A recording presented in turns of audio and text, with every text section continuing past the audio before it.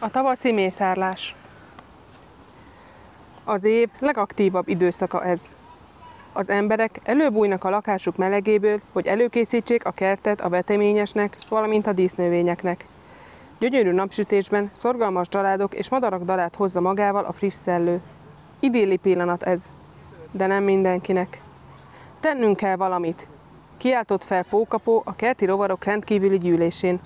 Az emberek romba döntik az életünket. Ha még csak a miénket, sopánkott a cserebogár csenge.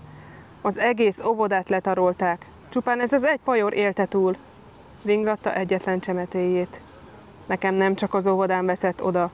Panaszolt a darásdóra. Az egész fészkemet eltüntették, vele több száz dolgozommal. Én több ezret vesztettem. Tette hozzá hangja Hanna. A két királynő zokogva borult egymásra összeölelkezve, mire Lepke Leopold halkan megszólalt. Az én testvéremmel is brutálisan elbántak.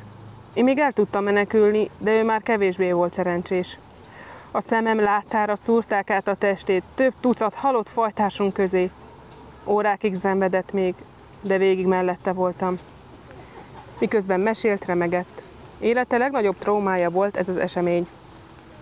Az apró közösség egy perces néma csönddel adózott az áldozatoknak, majd ázkarák áron foglalt állást. Én már inkább elbújok. Nemrég egy korhat fa alá rejtőztem, de még ott is rám találtak. Mesélte, és hangjából kivehető volt a rettegés. Én nem így születtem, vette át a szót Csiga Csilla. A szomszéd kertben éltem átlagos életemet, de amikor az ember észrevett, felkapott, és egyszerűen áthajtott a kerítésen. Máig viselem a nyomát. Mutatta a többieknek megrepett házát. Az emberek talán nem tudják, hogy mi is élünk? Értetlenkedett Sáska Samu. Nekünk is fáj, ha bántanak. Nekünk is csak egy életünk van. Az emberek ezt sosem érthetik meg, morogta még Melinda. Nem érik fel észre, hogy érző lények vagyunk, és tudománynak hiszik azt, hogy a szárnyunkat kitépve figyelik a reakcióinkat. Ahogy ezt mondta, a többiek látták, hogy nem a levegőbe beszélt. Ez az eset nemrég történt meg vele, és azóta küzd azzal a kétségbeejtő tényel, hogy napokon belül meg fog halni. Légy Léna megérintette a hátát támogatásként. Nekem két lábamat tépték ki szórakozásból, mondta együttérzően. A párzási időszakban sem hagynak nekünk nyugtot, panaszolta Bodobács Botond. Három nőstényel is párosodni próbáltam, de mindundalan szétszettek minket. Ki csinál ilyet? idegeskedett. Pókapó mindent mondott után egyre szomorúbb lett. Helyzetük kilátástalanabbnak tűnt, mint valaha. Csak akad valamiféle megoldás, bíztatta gondolkodása a jelenlévőket.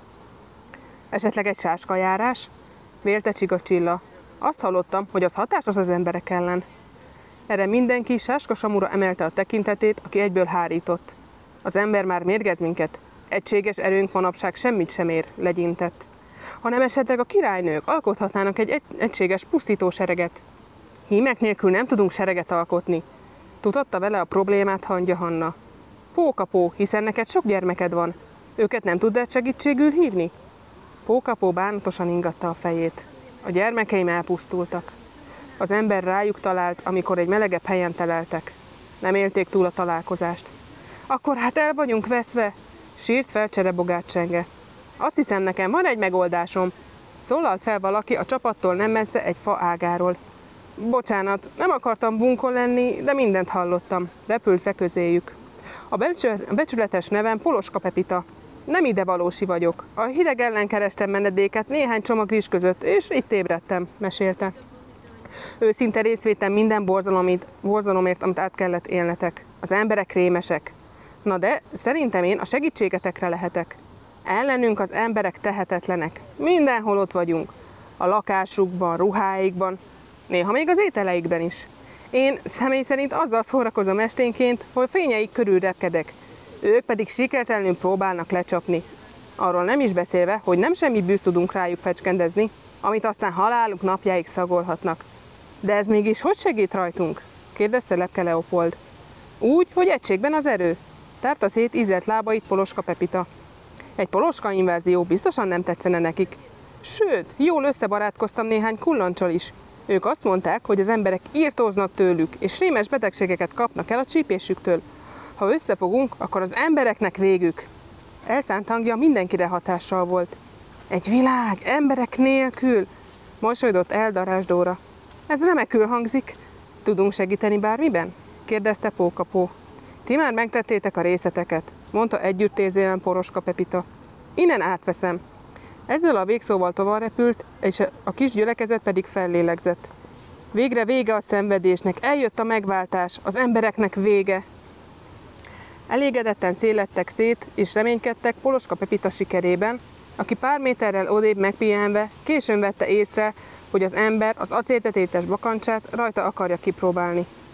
Ahogy pedig nevetve szétrancsírozta a kis állat testét, az egész kert rovarvilágától elvette a boldog és biztonságos jövőt, melyben nem kell menekülni, nem kell rettegni, csak élni és boldognak lenni az év bármely időszakában.